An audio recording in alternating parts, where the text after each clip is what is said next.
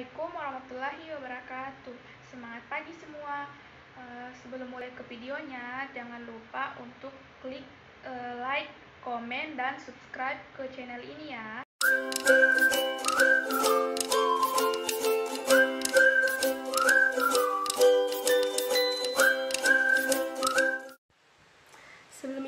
saya akan memperkenalkan diri dulu. Nama saya Juniatin Rahayu, mahasiswi Institut Agama Islam Negeri Kendari dari program studi Pendidikan Islam Anak Usia Dini. Nah, pada video kita kali ini, kita akan membuat media pembelajaran pop-it profesi yang mampu meningkatkan kecerdasan linguistik pada anak usia dini.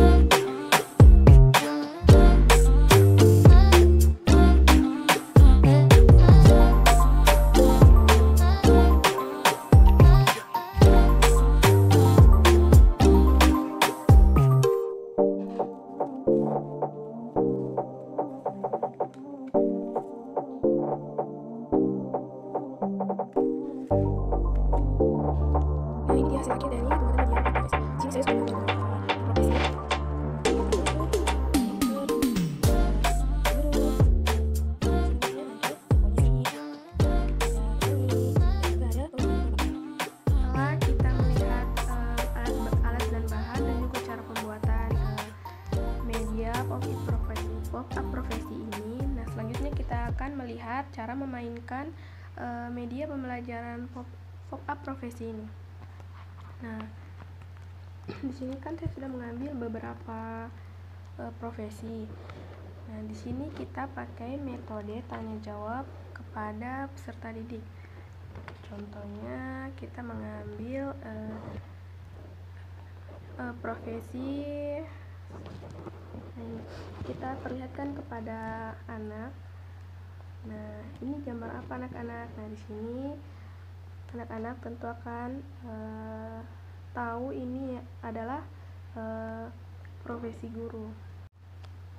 Nah, kita akan bertanya lagi, eh, guru itu tempat bekerjanya di mana anak-anak? Nah, anak-anak akan merespon lagi seperti yang dilihat pada gambar ini, yaitu eh, guru tempat bekerja guru itu eh, yaitu di sekolah.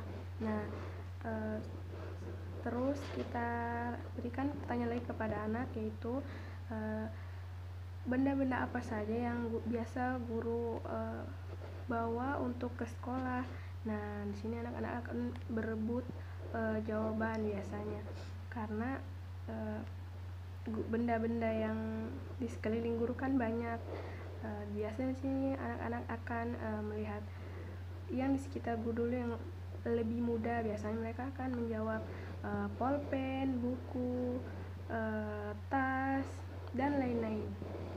Terima kasih sudah menonton video ini mulai dari uh, perkenalan alat dan bahan uh, cara membuat dan juga cara memainkan pop art profesi ini. Nah uh, jika ada salah-salah kata dalam video ini mohon dimaafkan. Assalamualaikum warahmatullahi wabarakatuh